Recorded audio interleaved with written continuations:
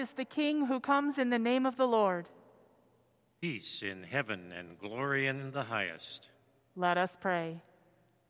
Assist us mercifully with your help, O Lord God of our salvation, that we may enter with joy upon the contemplation of those mighty acts whereby you have given us life and immortality through Jesus Christ our Lord. Amen. Amen. The Holy Gospel of our Lord Jesus Christ according to Mark. Glory to you, Lord Christ. When they were approaching Jerusalem at Bethphage and Bethany, near the Mount of Olives, Jesus sent two of his disciples and said to them, Go into the village ahead of you, and immediately as you enter it, you will find tied there a colt that has never been ridden. Untie it and bring it.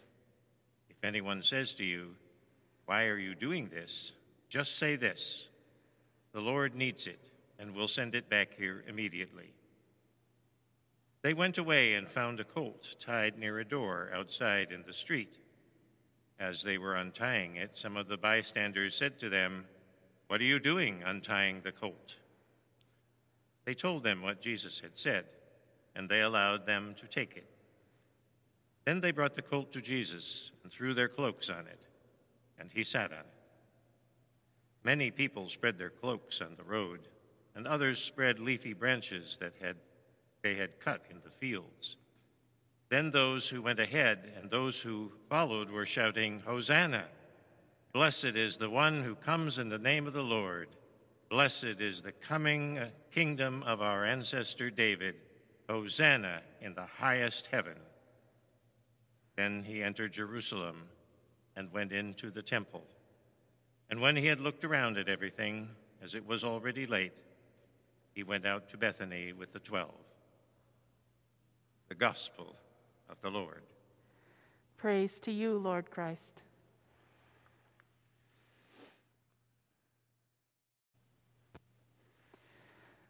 The Lord be with you. And also with you.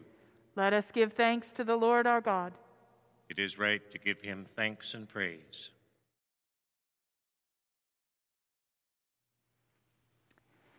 It is right to praise you, Almighty God, for the acts of love by which you have redeemed us through your Son, Jesus Christ our Lord.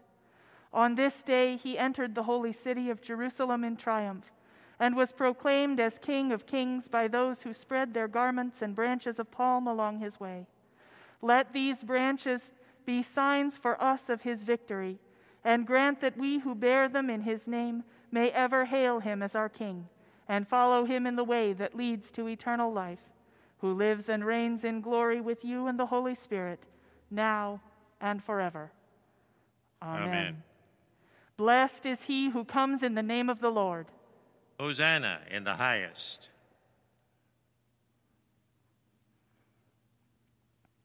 Let us go forth in peace. In the name of Christ. Amen.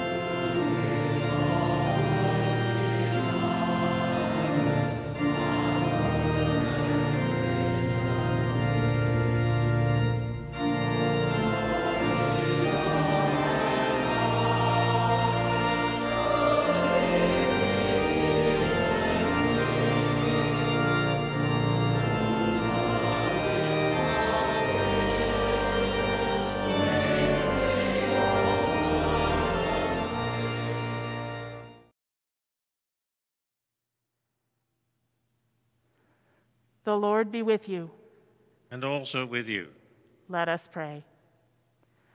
Almighty and ever living God, in your tender love for the human race, you sent your Son, our Savior Jesus Christ, to take upon him our nature and to suffer death upon the cross, giving us the example of his great humility. Mercifully grant that we may walk in the way of his suffering and also share in his resurrection. Through Jesus Christ our Lord, who lives and reigns with you and the Holy Spirit, one God, forever and ever. Amen.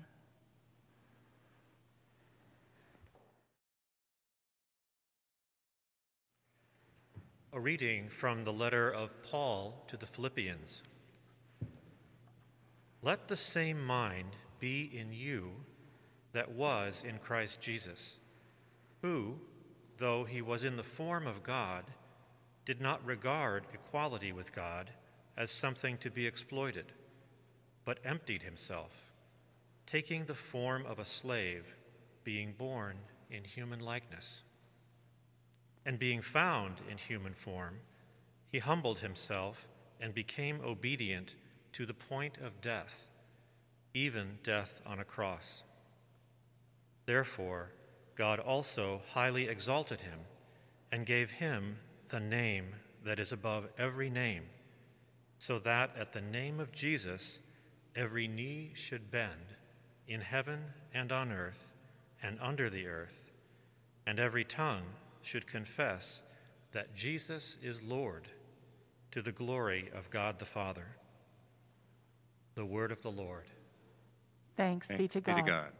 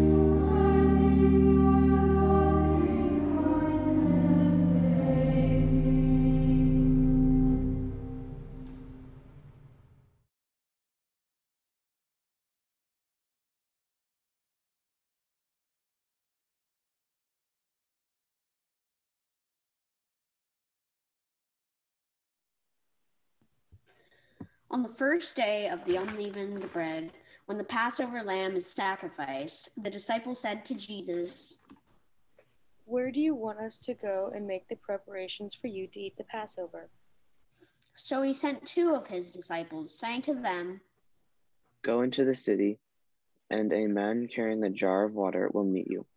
Follow him, and wherever he enters, say to the owner of the house, The teacher asks, Where is my guest room? Where may I eat the Passover with my disciples? He will show you a large room upstairs, furnished and ready. Make preparations for us there. So the disciples set out and went to the city, and found everything as he had told them, and they prepared the Passover meal. When it was evening, Jesus came to with the twelve, and when they had taken their places and were eating, Jesus said, Truly I tell you, one of you will betray me, one who is eating with me. They began to be distressed and to say to him one after another, Surely not I. It is one of the twelve, one who is dipping bread into the bowl with me. While they were eating, he took a loaf of bread, and after blessing it, he broke it and gave it to them and said, Take, this is my body. Then he took a cup, and after giving thanks, he gave it to them, and all- of them drank from it. He said to them, This is my blood, which is poured out for many. Truly I tell you, I will never again drink of the fruit of the vine until that day when I drink it new in the kingdom of God. When he had sung the hymn, they went out unto the Mount of Olives. And Jesus said to them, You will all become deserters, for it is written, I will strike the shepherd, and the sheep will be scattered. But after I am raised up, I will go before you to Galilee. Even though all become deserters, I will not.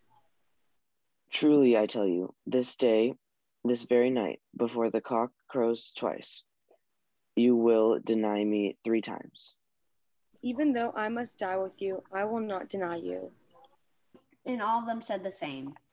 They went to a place called Gethsemane, and Jesus said to the disciples, Sit here while I pray. He took with him Peter and James and John, and began to be distressed and agitated, and said to them, I am deeply grieved, even to death. Remain here and keep awake. And going a little further, he threw himself on the ground and prayed, Abba, Father, for you all things are possible. Remove this cup from me, yet not what I want, but what you want. Jesus came and found them sleeping. And he said to Peter, Simon, are you asleep? Could you not keep awake one hour? Keep awake and pray that you may not come into the time of trial. The spirit indeed is willing, but the flesh is weak.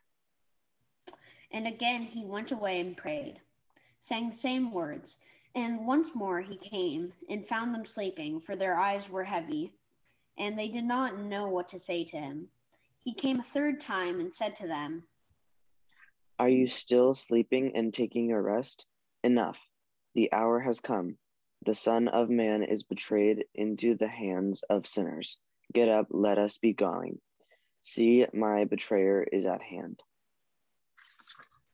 Immediately, while he was still speaking, Judas, one of the twelve, arrived, and with him was a crowd of with swords and clubs from the chief of priests, the scribes, and the elders. Now the betrayer had given them sign, saying, The one I will kiss is the man. Arrest him and lead him away under guard. So when he came, he went up to him at once and said, Rabbi, and kissed him. Then they lay, laid hands on him and arrested him. But one of those who stood near drew so- his sword and struck the slave of the high priest, cutting off his ear. Then Jesus said to them, have you come out with swords and clubs to arrest me as though I were a bandit? Day after day, I was with you in the temple teaching, and you did not arrest me. But let the scriptures be fulfilled. All of them deserted him and fled. They took Jesus to the high priest, and all the chief priests, the elders, and the scribes were assembled. Peter had followed him at a distance right into the courtyard of the high priest, and he was sitting with the guards, warming himself at the fire. Now the chief priests and the whole council were looking for testimony against Jesus to put him to death, but they found none. For many gave false testimony against him, and their testimony did not agree. Then the high priest stood up before them and asked Jesus, Have you no answer? What is it that they testify against you? But he was silent and did not answer. Again, the high priest asked him, Are you the Messiah, the Son of the Blessed One? I am, and you will see the Son of Man seated at the right hand of the power, and coming with the clouds of heaven. Why do you still need witnesses? Have you heard of the blasphemy? What is your decision? All of them condemned him as deserving death. Some began to spit on him, to blindfold him, and to strike him, saying to him, Prophesy. The guards also took him and beat him. While Peter was below in the courtyard, one of the servant girls of the high priest came by.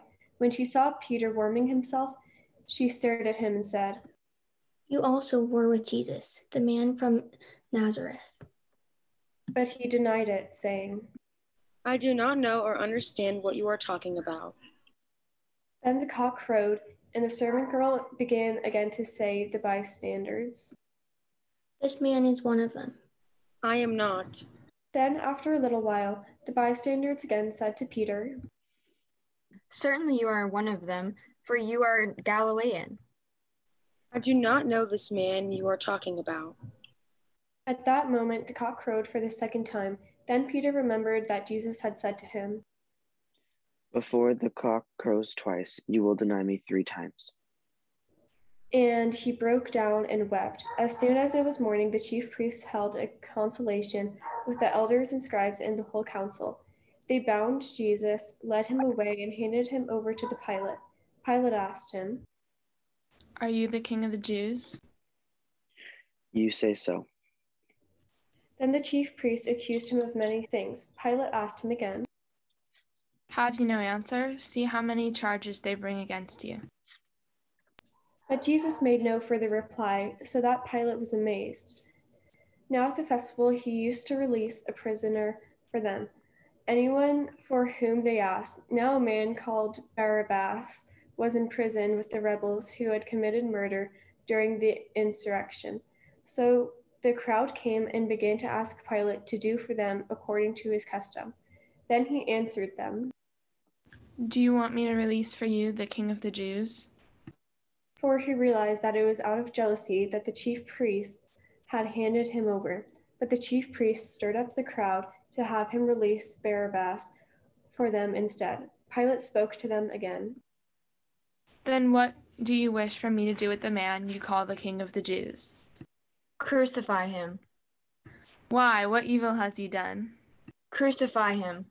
So Pilate, wishing to satisfy the crowd, released Barabbas for them, and after flogging Jesus, he handed him over to be crucified.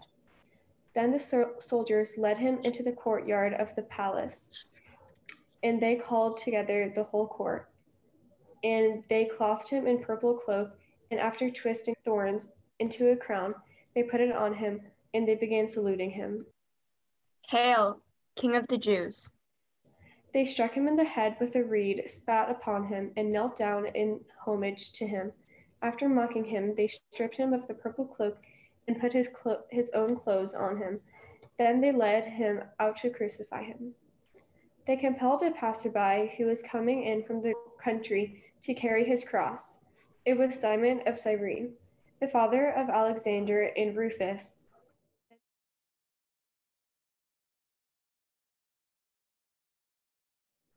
Then they brought Jesus to the place called Golgotha, which means the place of a skull. And they offered him wine mixed with myrrh, and he did not take it. And they crucified him and divided his clothes among them, casting lots to decide what each should take. It was nine o'clock in the morning when they crucified him. The inscription of the charge against him read, The King of the Jews. And with him they crucified two bandits, one on his right and one on his left. Those who passed by derided him and shaking their heads and saying, Aha! You who would destroy the temple and build it in three days, save yourself and come down from the cross. In the same way, the chief priests, along with the scribes, were also mocking him among themselves and saying, He saved others, he cannot save himself. Let the Messiah, the King of Israel, come down from the cross now, so that we may see and believe. Those who were crucified with him also taunted him. When it was noon, darkness came over the whole land until three in the afternoon. At three o'clock, Jesus cried out with a loud voice, Eloi, Eloi, lema sabachthani, which means, My God, my God, why have you forsaken me? When some of the bystanders heard it, they said, Listen, he is calling for Elijah. And someone ran, filled a sponge with sour wine, put it on a stick, and gave it to him to drink, saying, Wait, let us see whether Elijah will come and take him down. Then Jesus gave a loud cry and breathed his last, and the curtains of the temple was torn in two from top to bottom. Now when the centurion who stood facing him saw that in this way he breathed his last, he said, Truly this man was God's son.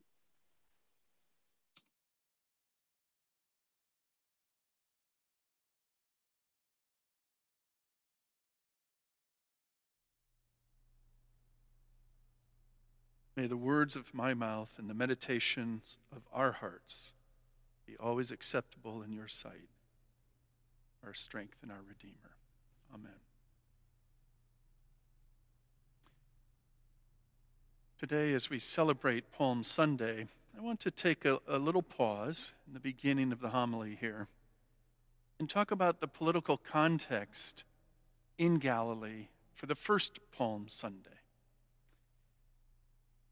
I know that we don't like to be political here in church, and it's important that we're not. Maybe we could say we're, that we're not partisan, but we're always political, because political's just the way we get together. Like when you stop at a stop sign, you're being political. You're not being partisan, but you're being political, because you're joining with the others and figuring out our common life together. The reason I say that now is Palm Sunday is a very political Sunday for us, and it remembers a politically charged event. I, I want to talk about it a little bit. When we go back to the time of Jesus for the per- first Palm Sunday, the context was one of extreme poverty. Extreme poverty, and there was a foreign overlord, the Romans, who controlled Galilee at that time and Palestine. So Jesus was living his life under the thumb, under the boot of Rome, and Rome was taking their tribute out of, of that area and everywhere they ruled and bringing it to Rome, which is why Rome, the city of Rome, was so rich. They were taking it from other places. So, what Rome did was they had a governor and named Herod, and Herod was Jewish. So, they were Romans were pretty smart. They frankly hated Jewish people, and they tried to exterminate them after Jesus' death and resurrection, after this event of Palm Sunday. But they installed someone who was Jewish, so a, a classic collaborator type. And Herod ruled with his family. We, we think he had about 400 people in his family, an extended ruling family. So he had 400 people who had access to enormous wealth and then there were people in the population who collected taxes, the tax collectors. They were collaborators also, because they were the way that Rome collected the money and brought it to Herod's family and then to Rome. So Jesus grew up in a very, very difficult environment, political environment. Dom Crossan, who's a scholar, thinks that most people who woke up in the morning in Jesus' area when Jesus was alive, the first thing they thought about was how will they get enough food for the day? Imagine that level of food insecurity. You wake up and you think, how am I going to feed myself and, and my family for the day? because Herod's family, his 400 people, took about half the wealth in that area, and the rest were very hungry. So this was a politically charged environment that Jesus was in as he and the disciples went to Jerusalem. And when Palm Sunday came, that was the beginning of the Passover. Now, the Passover was a religious celebration at that time, but it was also a festival and it was a time for people to gather. They didn't have weeks like we do, where they have a weekend to rest. These were times of rest, and they were seasonal. They had to do with the lunar calendar. People took time off. They were, they were pilgrims and spiritually focused, but they were also enjoying life and relaxing a bit. And that's when trouble could happen for the overlords. So, what would happen is Herod would come down from his seaside. He had a great, gorgeous area up north of Jerusalem where he lived, he would bring the Roman garrison down and march right through Jerusalem at the beginning of Passover. A big parade of power, of military might. Now, the fascinating thing for Palm Sunday is when Jesus makes his procession into Jerusalem, he's on the exact opposite side of Jerusalem. So you have Herod coming in here with the Roman garrison. Jesus times it perfectly. He's coming in on a donkey, and people are throwing the palms in front of his feet. Herod's coming this way, Jesus is over here, and he's almost making a mockery of this uh, thought of being safe through military power. It's almost like Jesus is making a mockery of that. And they're calling him king and hail the king. And we do it ourselves, don't we? In the liturgy, we remember this. So, Palm Sunday is a highly charged political event that happened when Jesus entered Jerusalem. And the politics are important because Jesus is helping us see in the spiritual message that he brings that, that physical power does not give us spiritual grace. Physical power will never give us spiritual grace. Physical control doesn't either. This is when, when Jesus comes through the other gate, the opposite gate, Herod. He's telling us that our security and our strength relies on God alone and God's love for us. And so, Palm Sunday, we, we claim that we're political because we live together and we're organized. We're not partisan here, but we also remember that Jesus was fighting against a very tough political system that Rome had imposed in that area and in many other areas as well. And so on this Palm Sunday, as we remember the saving grace of God that comes to us through Jesus and reminds us that God's love is what keeps us safe and gives us authentic true power, on this Sunday, it's helpful to pause I wonder how you would think about All Saints, this parish here that we're in. How would you think about All Saints being a political place? I have been told as the interim many, many times All Saints is a big tent, and we have all kinds of political, partisan beliefs. So we're careful, and we should be, and I honor that. At the same time, we do think politically. And sometimes, and maybe on this Sunday, we can, we can dig into that a bit. I would say the, the strongest political statement All Saints makes is the day school right over there. The day school is a political statement. It says, We believe in education, and we believe in strong education. And we bring in the Challenge Foundation that comes and helps us bring students in. So we believe in that diversity that education can bring. These are political statements. Education is important. And so we do it really, really well here at All Saints. You should be really proud of the school. They're wonderful. They're doing a great job. And they're teaching the values that we have here in the parish the baptismal covenant. So we are political. And I encourage you to be political. The politics for us are the same politics of Jesus. Jesus worried about people being fed. He worried about economic justice where people can have enough to be God's disciples in this world. And so I encourage you to think how you can live that. Often we, we focus on our personal spiritual life, and that's very important. Today, I'm inviting you to think about our collective spiritual life here at All Saints and the political statement we make through education. Now, as you find a new rector, which we, we expect him or her to come in in about six months, as you find a new rector, you're going to start a new spiritual journey and a new spiritual adventure, and there'll be wonderful positive changes. And one of those might be another large kind of ministry like the school. Imagine a large collective ministry here around outreach, where everyone's working together with a common vision to help the hungry, the homeless, maybe vets who are, who are hurting or homeless, to help someone in this, in this community, to help them experience the grace of God. To do that personally, which you all do very well. But you're so smart, and there's so many of you, and you've done such a great job with the school. What's your next large political statement? That's one of the questions that Jesus' actions on Palm Sunday ask us here now at All Saints. And so I pray that you enjoy your Palm Sunday, that you, you move through this gateway of, you know, joy and, and Jesus, the procession, and then the, you know, into the arrest of Jesus and, and, and into the crucifixion and beyond. I pray that you that you you you walk that path yourself in a way that will renew your commitment to being a citizen in this country and in this community and to helping those who are hungry and homeless and poor as our baptismal covenant guides us.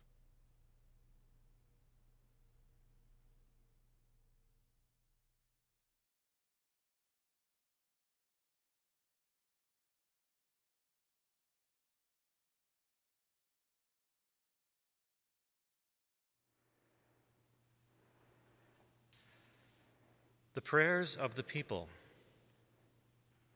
On this day, when Christ enters Jerusalem to die, we pray with Christ in his suffering for forgiveness for the many times we have denied Jesus.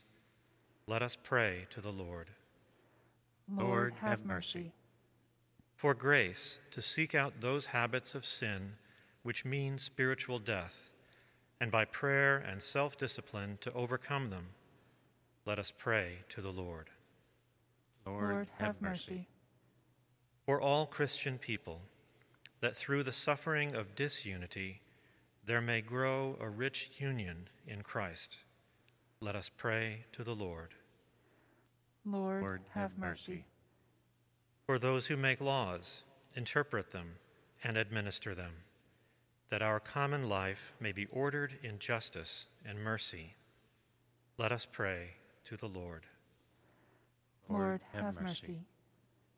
For those who still make Jerusalem a battleground, for our nation, for countries in conflict, for all who serve under arms, for all victims of human violence, and for the peace of the world, let us pray to the Lord. Lord, Lord have, have mercy. mercy. For those who have courage and honesty to work openly for justice and peace, let us pray to the Lord. Lord, have mercy. For those weighed down with hardship, failure, or sorrow, for those who have suffered through natural disaster, and for all who feel that God is far from them, let us pray to the Lord. Lord, have mercy.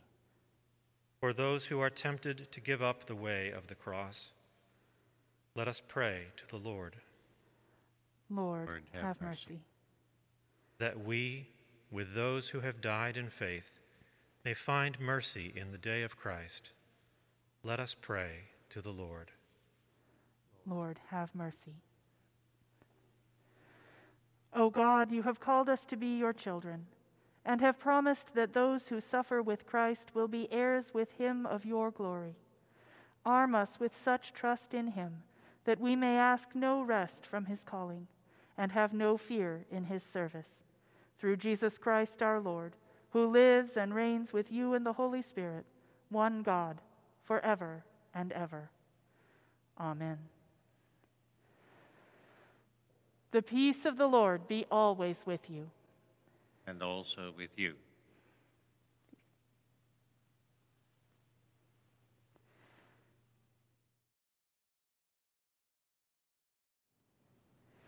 Good morning.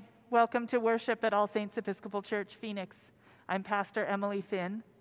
Um, thank you for joining us for our Palm Sunday worship. This begins our Holy Week worship this coming week, and we invite you to join us for Holy Week and Easter. Um, the Holy Week services are all outside in the close garden, and Easter Day will be here online and also over at the day school outside in the pavilion. The schedule is on our web- website and in the e blast and on the Facebook page. So we invite you to join us in person and online for any and all of our, our scheduled services. And now walk in love as Christ loved us and gave himself for us, an offering and sacrifice to God.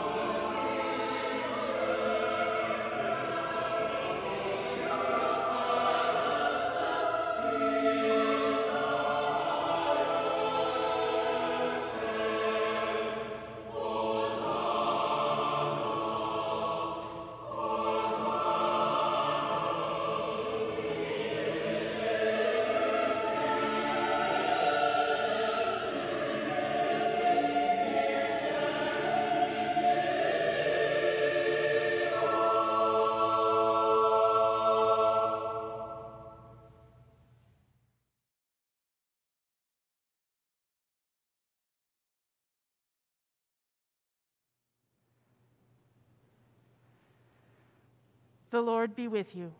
And also with you. Lift up your hearts. We lift them to the Lord. Let us give thanks to the Lord our God. It is right to give him thanks and praise. It is right and a good and joyful thing always and everywhere to give thanks to you, Father Almighty, Creator of heaven and earth, through Jesus Christ our Lord. For our sins he was lifted high upon the cross, that he might draw the whole world to himself and by his suffering and death he became the source of eternal salvation for all who put their trust in him. Therefore we praise you, joining our voices with angels and archangels and with all the company of heaven, who forever sing this hymn to proclaim the glory of your name. Holy, holy, holy Lord, God of power and might, heaven and earth are full of your glory. Hosanna in the highest. Blessed is he who comes in the name of the Lord. Hosanna in the highest. Holy and gracious Father, in your infinite love you made us for yourself. And when we had fallen into sin and become subject to evil and death, you in your mercy sent Jesus Christ, your only and eternal Son, to share our human nature, to live and die as one of us, to reconcile us to you, the God and Father of all. He stretched out his arms upon the cross and offered himself in obedience to your will, a perfect sacrifice for the whole world. On the night he was handed over to suffering and death, our Lord Jesus Christ took bread. And when he had given thanks to you, he broke it and gave it to his disciples and said, Take, eat. This is my body, which is given for you. Do this for the remembrance of me.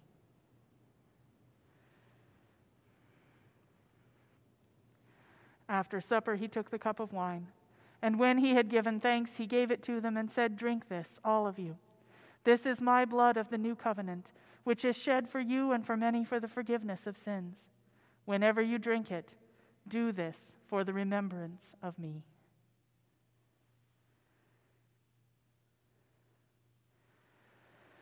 Therefore, we proclaim the mystery of faith. Christ has died. Christ is risen. Christ will come again.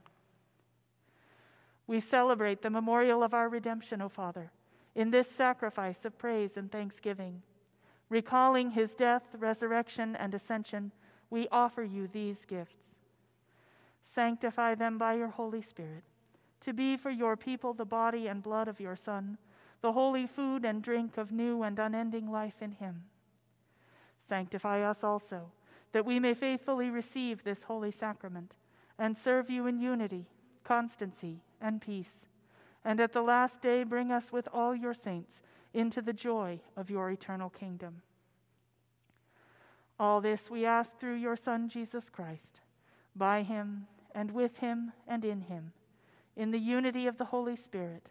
All honor and glory is yours, Almighty Father, now and forever. Amen. Amen.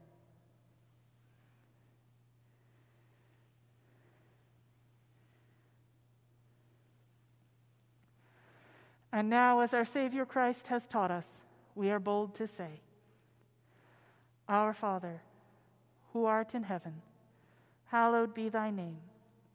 Thy kingdom come, thy will be done, on earth as it is in heaven. Give us this day our daily bread, and forgive us our trespasses, as we forgive those who trespass against us. And lead us not into temptation, but deliver us from evil. For thine is the kingdom, and the power, and the glory, forever and ever. Amen.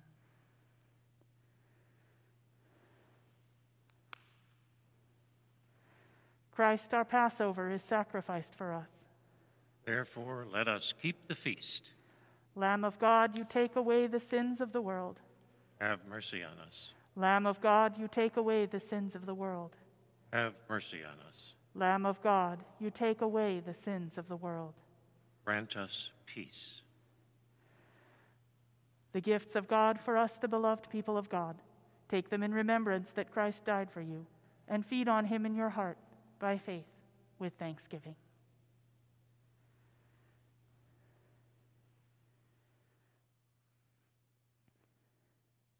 The body of Christ, the bread of heaven.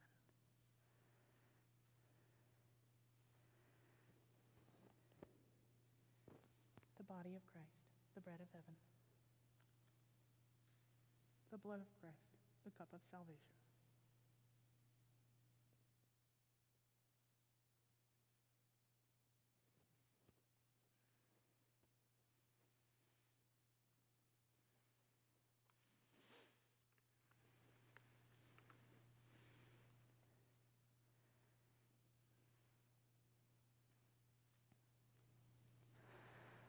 Let us pray.